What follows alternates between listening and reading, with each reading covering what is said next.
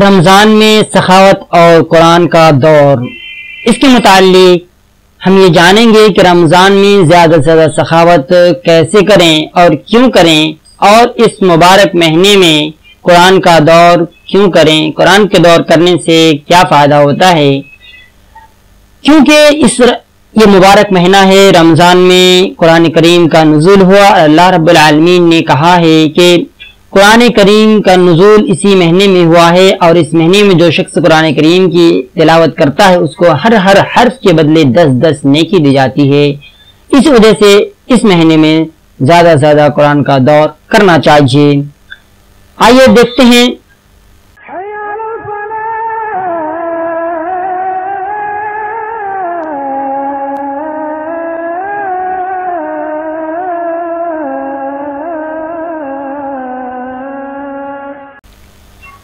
حدیث کیا کہتی ہے کہ حضرت ابن عباس رضی اللہ تعالیٰ عنہ سے روایت ہے کہ کان نبی صلی اللہ علیہ وسلم اجود الناس بالخیر۔ کہ نبی کریم صلی اللہ علیہ وسلم سخاوت اور خیر کے معاملے میں سب سے زیادہ سخی تھے اور آپ صلی اللہ علیہ وسلم کی سخاوت اس وقت اور زیادہ بڑھ جاتی، زیادہ بڑھ جاتی تھی جب جبرائیل علیہ السلام آپ سے رمضان میں ملاقات کرتے۔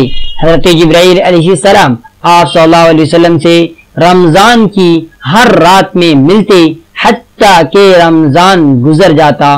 نبی کریم صلی اللہ علیہ وسلم حضرت جبرائیل علیہ السلام سے قرآن کا دور کرتے تھے۔ جب حضرت جبرائیل علیہ السلام آپ صلی اللہ علیہ وسلم سے ملنے لگتے تو آپ چلتی ہوا سے بھی زیادہ بھلائی پہنچانے میں سخی ہو جایا کرتے تھے۔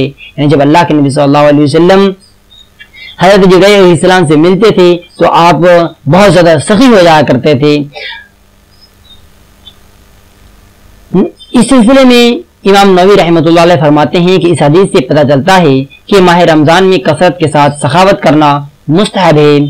سید سابق رحمۃ اللہ علیہ اس سلسلے میں فرماتے ہیں کہ سخاوت اور قرآن کا دور ہر وقت مستحب ہے، لیکن رمضان میں زیادہ معقد ہے۔ یعنی قرآن کا دور سے مراد ہے، قرآن کریم کا زیادہ سے زیادہ تلاوت کرنا، قرآن کریم کو پڑھنا، ان کے حرف کو سمجھنا، یہ چیزیں رمضان کے مہینے میں زیادہ تاکید کی جاتی ہے۔ تو اس سے معلوم یہ ہوا کہ ہمیں رمضان کے مہینے میں قرآن کریم زیادہ سے زیادہ پڑھنا چاہیے۔